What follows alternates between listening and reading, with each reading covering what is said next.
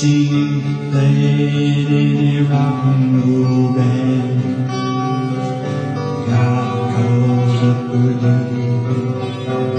to sing her days out of sand.